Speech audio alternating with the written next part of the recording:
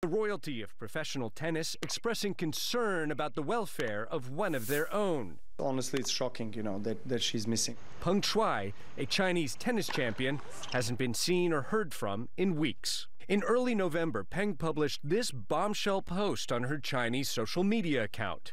An open letter to a former top communist leader named Zhang Gaoli, now aged 75, who Peng accuses of sexually assaulting her after the two had an affair.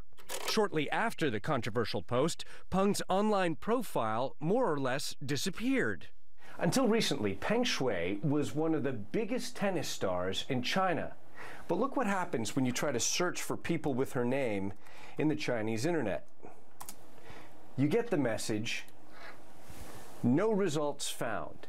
Censors have all but scrubbed this woman from the Chinese internet. Now, today, a new twist. With Chinese state media releasing this email purportedly written by Peng to the head of the Women's Tennis Association.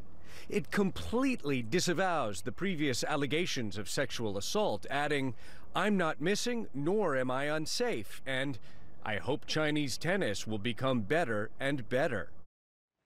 Yo, this is really disturbing. Someone speaks out about sexual assault, and then China's government just makes them disappear? And then what's even worse is that they release some bullshit email pretending like everything is fine. Because come on, people. That email from the tennis star was as legit as the letters I got from my supermodel girlfriend in fifth grade. She's coming next year, guys, I swear. This is what makes China so terrifying. Like, if you're on their good side, well, things are great. But if you try to tell the truth about how China is a country that constantly oppresses. Trevor Noah 去度假了，我们祝他一切顺利。What the hell was that? I'm not even in China. Look, man, it's one thing for your government to come after you. It's another thing for them to just make you never exist. I mean, they scrubbed the internet of anything about this tennis player. Do you know how hard it is to get stuff off of the internet? Only China can do that.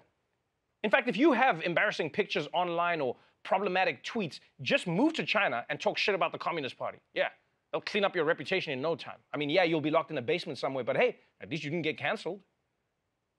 And this also really puts into perspective when people in America complain about being censored by big tech. Oh, Twitter took down my tweet. This is a tyranny. Guys, Peng Shuai literally does not exist on the internet anymore. Like, yeah, maybe Trump can't tweet right now, but you can still Google him. Trust me, just yesterday I searched for Donald Trump big butt photos. I got 80 million hits. And no, I'm not gonna tell you why I Googled that. I like big butts and I cannot lie. This is The Daily Show with Trevor Noah.